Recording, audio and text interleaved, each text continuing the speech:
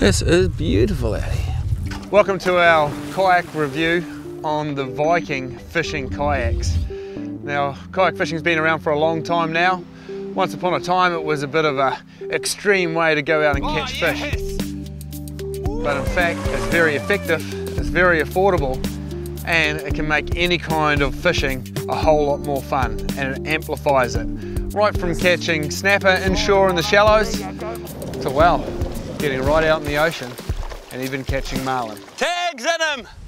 Woo! So we're going to take a look at a couple of the Viking kayak models right here. We've got two of them, and we're going to start with this guy right here, which is the Profish GT. Now, this has been made by Viking as a fishing kayak. The guys at Viking are fishermen themselves, and they're using these all the time. And as such, they've designed this thing for anyone to jump in and be able to fish straight away. Now, one of the secrets to that is the stability. It's relatively wide, uh, it's quite short, so nice and compact, easy to cart around. And the stability is because of these reverse chines. Now, it turns back down which gives a good suction onto the water and that acts almost like an outrigger canoe acts. So it's almost like you've got these extra two hulls out to the sides giving you plenty of stability. So nice and stable. They've got Viking's tackle pod which is a feature you'll only find in Viking kayaks. Now of course I've got my tackle box that sits nicely here. I've got my bait board, got my rods nicely where I can reach them on the Railblaza fittings which we'll come to. But the beauty of it all is I can have all my gear stored inside here and then by pulling out that pin there, at the end of the day, I can grab this thing, I can pop it in the back of my truck, put it inside, get it packed up with my lunch and everything in it for the next day, hose that thing down, when I want to go back out, just drop the tackle pod straight back in, clip her in, you're away out fishing again. You've got the seat, which is really important. Now, this clips in, and this allows you to be a lot more comfortable, but it also gives you paddling power. We've just got a nice open well in this one that you can put your fish into, and rod holders. And the rod holders are all positioned where you can reach them easily. This is the main one that you fish out of, but you can of course swap rods around and come in and out of these Railblaza rod holders. Now, that there is everything you need to chuck it in the water and get out and go kayak fishing. And as you've seen, they've been very effective. But over here, if you really want to step it up, this guy here is the Profish Reload. This one is a lot longer, so it's going to travel through the water a lot easier. So easier to paddle, um, easier to get forward momentum, cuts through the water really nicely. And this one has been fully tricked out. So we've got this running rig on here. Now this has been cleverly put together by the guys at Viking Kayaks, which allows you to clip on a sea anchor and adjust the attitude of your drift just by pulling the um, running rig up and down or you can use ground tackle and anchor yourself to the ground nice and safely and still be able to pivot around it. Real clever idea. And we come back here and we've got this beastie here. That is the power unit or the battery for this little thing on the back here, the Bixpy. Now the Bixpy, sitting down at the back here, this little wee tiny football sized thing that just fits on the bottom of the rudder, hardly any drag in the water. You can still use your foot pedals for rudder just like you normally would and paddle along, except when you come up here and push the button, you've got 10 power settings. It all operates on Bluetooth. You can have this on your wrist, you can have it on your PFD, or you can have it fixed to the kayak, and it gives you some serious boost. This just with no hands, no paddling at all, will push the kayak along at nine kilometers an hour, no problem at all. And the battery life is incredible. So at average speed, you're getting more than four hours use.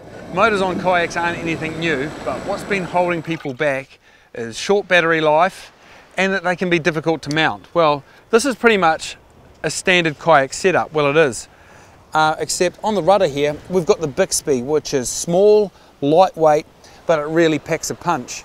Well, to install it and remove it, in fact, it's just a case of clipping on our rudder because we're steering this from the foot pedals. We've got a waterproof plug here to do, and we've just got a little wee pin that you can pull out here, and it really is a case of maybe 30 seconds to a minute to put it on and take it off. So there goes that problem of it being a hassle. And the other thing, of course, that holds you back is battery life. Well, we've got a wee small battery in there. Now, on full steam, which is going along at nine kilometers an hour, I'm gonna get about an hour and a quarter. At paddle assist, which is gonna give us six kilometers an hour, I'm gonna get four hours battery life. If I'm paddling also and I'm using a bit of paddle assist and I'm just using it at the low speeds, which is actually quite a lot of grunt, just to help me maneuver around when I'm fishing, I'm pretty much getting a whole day out of the wee Bixpy there. But of course you have your traditional power module, the paddle. So you can kind of use the two. Now in a fishing application, you can paddle along, uh, particularly when it's easy, you've got the wind and current behind you, you might as well paddle you get a bit of a headwind, bit of head current, you can actually just use the Bixpy on a slow setting just to give you a bit of power assisted paddling. But where it really comes into its own is in a fishing application. Quite often you need two hands when you're fishing, a couple of pushes on the um, Bixpy if you've got it on your sleeve, the remote, just to have a little bit of power creeping forward. You can use your foot pedals to hold yourself into the current, then you've got both hands to fish. This little unit here really has revolutionized kayak fishing. You can see there, I've got all the steerage I need on my feet. I'm coming up to the beach. I can hit stop. I've just got this handy wee toggle there. And look at that, she's up out of the way. When I want it back down so I can get motoring again, perhaps I've gone over a rock or a reef, I just give her another wee pull and there she is. She's back down, power on, and I'm scooting along again. This thing really is quite cool. But of course, wouldn't be so cool if you're boosting along and you fall out. That's what this thing here is for. Just a wee clip. I'm going to clip that onto my PFD. Should I fall over, magnet pulls off, automatic kill switch. So great wee safety feature as well. And I just can't see the negative. There's not a lot of weight, there's virtually zero drag, and you're getting thrust and it's making your day out kayak fishing so much more fun. So look the guys up because it is a fantastic asset. It's the Bixpy and it has certainly changed the face of kayak fishing. Now when we come down here, we see that the old kayak's got wheels. Well, in fact, it doesn't have wheels. These are just strapped on. These are the Railblaza C-Tug wheels. And these are really unique because it's got these sand track tires. So if you're launching on powdery soft sand or even loose shale, these things don't sink in the sand. They've got this patented thing where it flattens out to give you a wider surface area and they don't sink into the sand. So when it comes time to launch the kayak or move it around, look at that, piece of cake. Pull it up and down the beach, through soft sand, through the shale. Once you get it in the water, it's just a simple case of flicking the strap here off, taking the wheels away, and you're done. You're away kayaking.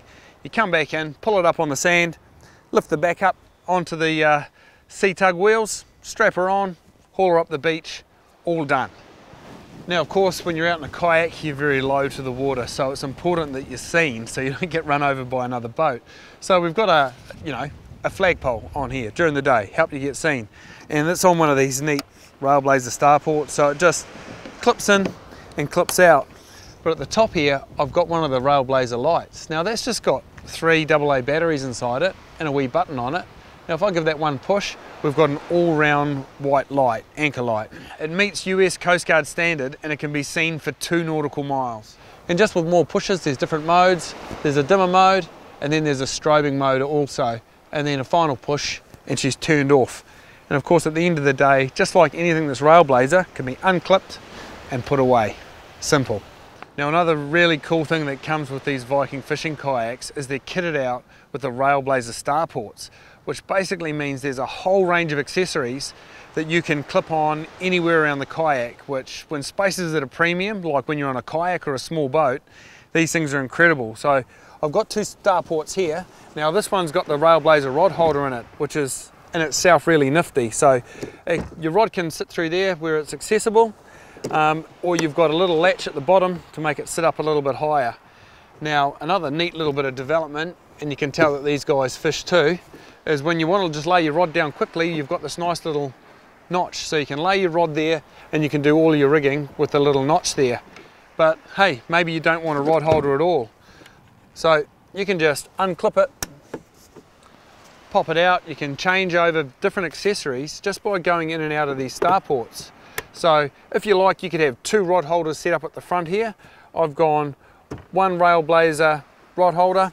I've got one Railblaza arm here.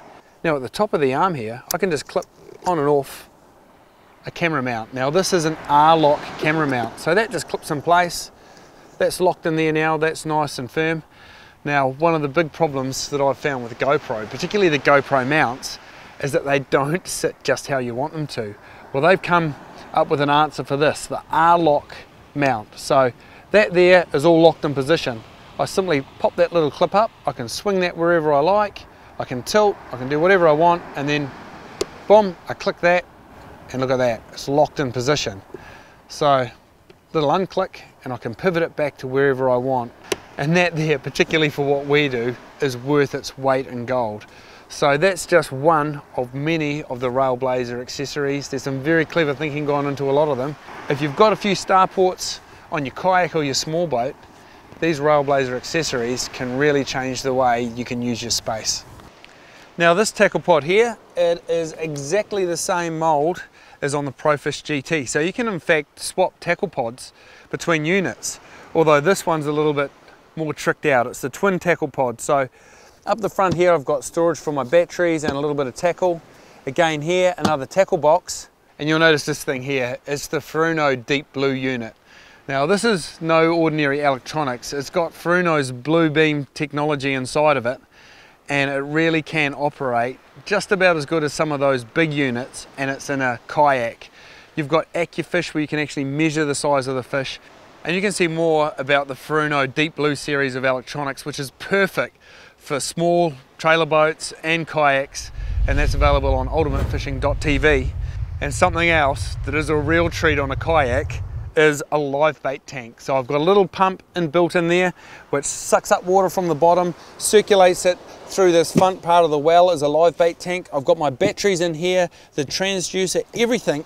And look at this, just like the other one, the whole thing lifts up. Batteries, transducer, pump, live bait tank and everything. And that can be thrown in the truck with all your tackle.